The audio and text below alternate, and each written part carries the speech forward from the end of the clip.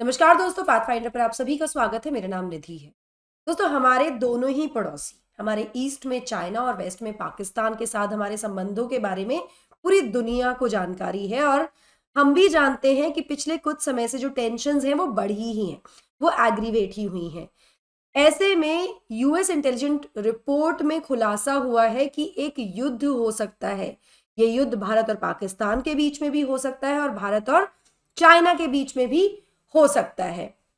अब जो सिचुएशन फ़िलहाल हमारे बॉर्डर्स पर है इंटरनेशनल बॉर्डर्स पर है, दोनों ही तरफ़ उसके बारे में हम जानते हैं, चाहे वो डिप्लॉयमेंट ऑफ़ ट्रूप्स हो, या फिर मूवमेंट हो, या इन्फिल्ट्रेशन को रोकने के लिए जो हमारे तरफ़ से प्रयास किए जाते हैं, वो हो, ये सिचुएशन को एग्रीवेट करते हैं।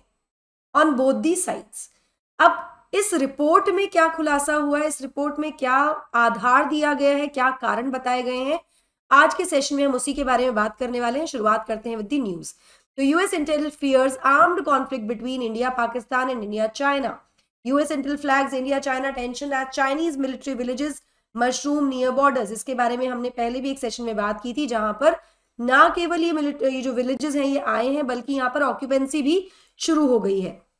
चलिए तो अमेरिकन अमेरिका की जो इंटेलिजेंस कम्युनिटी है, उसने लॉ मेकर्स को बताया कि उनको डर है कि जो टेंशन है बिटवीन इंडिया पाकिस्तान और इंडिया चाइना वो बढ़ सकती है और इस इंक्रीज टेंशन के चलते there can be a conflict between these countries now अगर हम बैकग्राउंड की बात करें भारत चाइना के तो सिचुएशन uh, जो है हमेशा से ही लगभग ऐसी रही है। बीच में थोड़ा सा एक ब्रेक आया था आफ्टर 1975 लेकिन 2020 में जो एक कॉन्फ्लिक्ट हुआ था between China's people liberation army PLA and Indian army in the eastern Ladakh उसके बाद से बहुत बार ऐसा हुआ है कि दोनों ही देशों की आर्मीज आमने सामने आई हैं।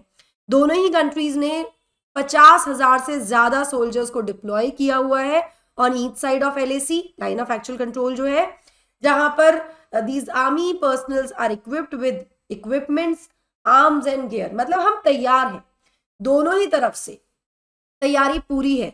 और हाल ही में भारत ने रीडायरेक्ट किए हैं दस हज़ार soldiers from our western front to China border ताकि हम सिक्योर कर सके the stretch in Uttarakhand and Himachal also ये रीसेंट न्यूज़ है, हम सभी इसके बारे में जानते हैं।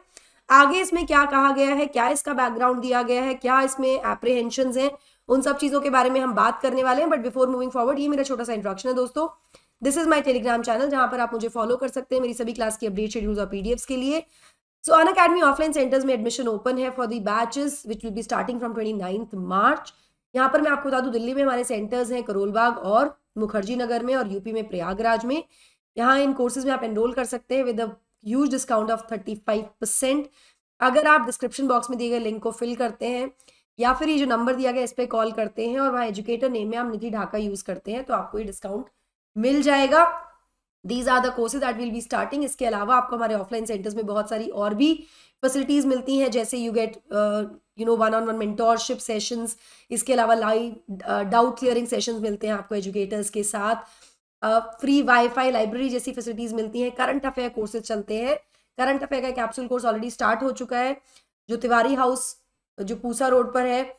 हमारा सेंटर उसमें ही ऑफलाइन ऑनलाइन दोनों ही मॉड्यूल में आपको मिल जाएगा। यहाँ पर इंटरैक्टिव क्लासेस होंगी डाउट क्लियरिंग आपकी यहीं पर हो जाएगी top educators including Aniruddh sir and Chandramouli sir आपको यहाँ पर पढ़ाने वाले हैं इन क्लासेस में। ये साठ घंटे का ड्यूरेशन है इस कोर्स का बिकॉज़ इट्स क्रैश कोर्स 2024 को ध्यान में रखते हुए, जिसमें 24 से 25 लेक्चर्स लेक्चर्स आपको मिलने वाले हैं। ठीक है, कोई भी जानकारी के लिए आप डिस्क्रिप्शन में दिए गए नंबर्स को कॉल कर सकते हैं या फिर आप मुझे टेलीग्राम पर भी मैसेज ड्रॉप कर सकते हैं। चलिए, जो 2024 की जो एनुअल थ्रेट असेसमेंट आई है, इसके अकॉर्डिंग रिपोर्ट में इंडिकेट किया है कि बीजिंग की जो इंटेंशन है to maintain large troop deployments मतलब बहुत सारे सोल्जर्स बहुत सारी आर्मी वहाँ पर डिप्लॉय करना और जो स्पॉडेक जो रैंडम इनकाउंटर्स होते हैं, इससे एक मिसकंसेप्शन हो सकता है, एक मिसअंडरस्टैंडिंग हो सकती है और ये कहीं ना कहीं एस्केलेट कर सकता है आर्म्ड कॉन्फ्लिक्ट को विद इंडिया मतलब ऑब्वियसली हमें लगेगा कि भाई ये जानबूझकर ऐसा कर रहे हैं तो हम भी रिटेलिएट करेंगे। हमारी तरफ़ से भी रिएक्शन आएगा यहाँ से सिचुएशन एस्केलेट हो सकती है। यहाँ पर इस रिपोर्ट में बीजिंग को डिस्क्राइब किया गया है कि वो एक्सपैंड कर रहा है अपने ग्लोबल कॉबर्ट इन्फ्लुएंस पोस्चर को मतलब वो सीक्रेटली अपनी जो पकड़ है, पहुँच है, उसको बढ़ा रहा है। और ये ऐसा किया जा रहा है, पूरे विश्व भर में ऐसा किया जा रहा है चाइना के द्वारा।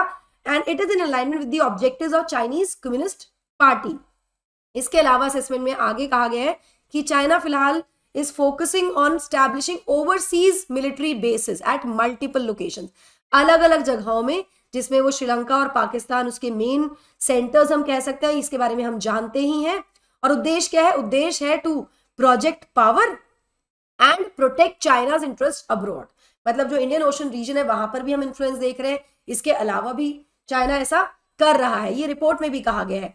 इसके अलावा report note that Beijing will focus on building a fully modernise national defence and military force by 2035 इसकी तरफ़ भी प्रयास कर रहा है, जिसमें कि पीपल लिबरेशन आर्मी जो है, ये वर्ल्ड क्लास मिलिट्री बन जाएगी 2049 तक। तो मतलब इंक्रीज किया जा रहा है, अपने आप को और ज़्यादा स्ट्रॉन्ग किया जा रहा है for any kind of conflict और इसकी वजह से हो सकता है कि मिसकैलकुलेशन हो और सिचुएशन एस्केलेट हो जाए, ऐसा इस रिपोर्ट में बताया गया है।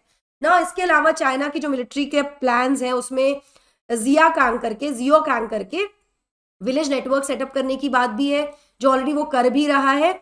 In the region facing India China border जिसके बारे में हमने पहले भी एक लेक्चर में बात की थी, जिससे बेसिकली उद्देश्य तो ये कह रहे हैं कि इकोनॉमिक कंडीशंस को इम्प्रूव किया जाएगा और स्ट्रेंथन किया जाएगा अपनी पोजीशन को उस एरिया में। चाइना के फ़िलहाल 628 जियोकैंग विलेजेस हैं बॉर्डर पे in the Tibet autonomous region और ये हो रहे हैं या बनाए गए हैं in accordance to the Chinese president Xi Jinping strategy of stabilising Tibet for the governance of frontier region मतलब भारत के साथ अपनी जो पकड़ है, भारत के एरिया में जो पकड़ है, उसको मज़बूत करने के लिए स्ट्रेंथन करने के लिए and to meet the goal of building xiaokang और moderately well off society by 2021 ये कहा जा रहा है, लेकिन ऐसा है नहीं। 2019 से ये विलेजेस बनाए जा रहे हैं बिल्ड किए जा रहे हैं अलोंग दी एलएसी ये पूरा रीजन है जहाँ पर ये बनाए जा रहे हैं। पहले ये अनऑक्यूपाइड थे, लेकिन अब ये ऑक्यूपाई हो गए हैं। डुअल इनका मोटिव बताया जा रहा है जहाँ पर they be use for double purpose dual purpose for military usage also सिर्फ़ लोगों के रहने के लिए कम्युनिटी डेवलपमेंट नहीं हो रहा है। यहाँ पर मिलिट्री के लिए भी इसको इस्तेमाल किया जा सकता है।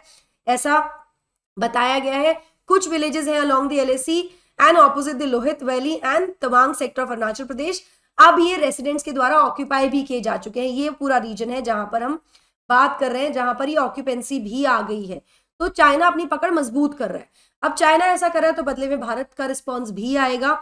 हमारा भी प्लान है कि हम छह विलेजेस को डेवलप करें अक्रॉस दी बॉर्डर जो बॉर्डर एरिया एरियाज़ हैं, उसमें मॉडर्न एम्यूनिटीज दें अंडर वाइब्रेंट विलेज प्रोग्राम जो सरकार ने शुरू किया था कुछ समय पहले, यहाँ पर जो सत्रह विलेजेस हैं, उनको सिलेक्ट किया गया था for the pilot project under the programme along the border with China कहाँ कहाँ पर? लद्दाख, हिमाचल प्रदेश, उत्तराखंड, सिक्किम और अरुणाचल प्रदेश। मतलब पूरे बॉर्डर एरियाज़ में। तो हम भी जवाब के लिए तैयार हैं पूरी तरह से। चाइना इस पर क्या कह रहा है? तो अभी हाल ही में क्या हुआ था? हमारे प्रधानमंत्री का अरुणाचल दौरा था।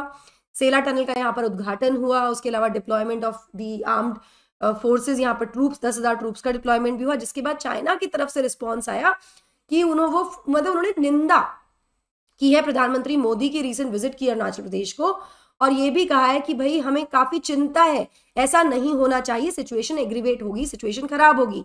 यहाँ पर कोट अनकोट चाइना के जो स्पोक्स पर्सन है फॉरन मिनिस्ट्री के उन्होंने कहा है कि इंडिया के जो ये मूव्स हैं, ये कॉम्प्लिकेट कर रहे हैं बॉर्डर के क्वेश्चन सिचुएशन को और ये सिचुएशन को और ज़्यादा खराब कर सकते हैं बिटवीन द टू कंट्रीज़ ठीक है, यहाँ पर वॉन्ग वेनबिन ने कहा है in the briefing in Beijing जहाँ पर उन्होंने अरुणाचल प्रदेश को रेफर किया जेन जेंगनान जो कि वो चाइनीज़ में अरुणाचल को बोलते हैं as Chinese territory Arunachal Pradesh क्या है? चाइनीज़ टेरिटरी है, जिस पर चाइना हमेशा से ही बोलता है कि अरुणाचल प्रदेश जो है एक्सटेंडेड तिब्बत का हिस्सा है और वो चाइनीज़ टेरिटरी का हिस्सा है। जिसको लेकर हम भी बहुत क्लियर हैं कि it is a part of sovereign India ये हमारा हिस्सा है और इसको हमसे कोई अलग नहीं कर सकता। हमारा स्टैंड भी बिल्कुल क्लियर है इसमें। अब अगर हम इंडिया के टेक की बात करें तो भारत के रिस्पॉन्स का मैंने आपको बताया कि हम भी डेवलप कर रहे हैं। इसके अलावा हमने अपनी मिलिट्री प्रेजेंस को भी काफ़ी ज़्यादा बूस्ट किया है अरुणाचल प्रदेश रीजन में इंक्लूडिंग तवांग, जब चाइना ने इसको क्लेम किया था सदन तिब्बत का हिस्सा। तो भारत भी इस पूरे एरिया में इंफ्रास्ट्रक्चर इंप्रूव करने के लिए काम कर रहा है। हाल ही में अगर हम एग्ज़ाम्पल की बात करें तो जो सेला टनल का इनाग्रेशन हुआ है, वो एक एग्ज़ाम्पल है यहाँ पर कि हम इस सिचुएशन इस जो पूरा एरिया है इस पे हमारे ट्रूप्स के मूवमेंट को ईजियर बनाने का प्रयास कर रहे हैं because we are ready for everything and anything that comes from Chinese side इसके अलावा अगर मैं पाकिस्तान के बारे में बात करूँ तो रिपोर्ट में पॉइंट आउट किया गया है कि पॉसिबल आर्म्ड कॉन्फ्लिक्ट हो सकता है. Possibility of arm conflict between armed conflict between India and Pakistan also in case of any provocation from Islamabad अगर पाकिस्तान की तरफ़ से प्रोवोकेशन होगी तो यहाँ पर भी कॉन्फ्लिक्ट हो सकता है.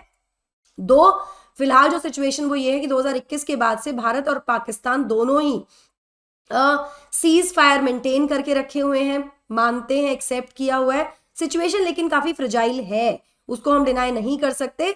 साथ में रिपोर्ट में यह भी कहा गया है कि despite of the cease fire 2021 के बाद से जो सीज फायर है, उसको रिस्पेक्ट किया तो जा रहा है, लेकिन फिर भी दोनों ही देशों की तरफ़ से इस पीरियड को, जो सीज फायर का पीरियड है, इसको बिल्कुल भी बायोलिट्रल टाइज को इंप्रूव करने के लिए रीबिल्ड करने के लिए यूज़ नहीं किया गया है, क्योंकि दोनों ही देश अपनी अपनी डोमेस्टिक प्रायोरिटीज में इतने ज़्यादा इनग्रोज है, इतने ज़्यादा इन्वॉल्व है, कि इस चीज़ पर ध्यान नहीं दिया जा रहा है। तो ऐसे में अगर प्रोवोकेशन आता है इस्लामाबाद की तरफ़ से तो भारत पाकिस्तान युद्ध भी हो सकता है। ऐसी इस रिपोर्ट में पॉसिबिलिटीज जताई गई हैं। कहा गया है कि जिस तरह से सिचुएशन है, दोनों ही बॉर्डर एरियाज़ में there is a chance of war आपको क्या लगता है मुझे कमेंट सेक्शन में ज़रूर बताइएगा। दोस्तों यूपीएससी प्रीलिम्स 2024 की अगर आप स्ट्रैटेजी जानना चाहते हैं ताकि आप क्रैक कर सकें इस एग्ज़ाम को तो वो आपको मिल जाएगी हमारे डिस्क्रिप्शन बॉक्स में दिए गए लिंक की लिंक है पॉडकास्ट का उस पॉडकास्ट में, जहाँ पर आपके सभी क्वेश्चंस के आंसर हमारे एक्सपर्ट्स के द्वारा किए जा रहे हैं पॉडकास्ट हमने आपके लिए शुरू किया है तो जाकर देखिए इसको, और आई एम श्योर कि आपके सभी डाउट्स और कंफ्यूजन यहाँ पर क्लियर हो जाएँगे that will be all from my side I hope you like the session do not forget to like share and subscribe to the channel also hit the bell icon so that you get notifications about the latest update. Thank you so much. God bless. Take care. Bye bye.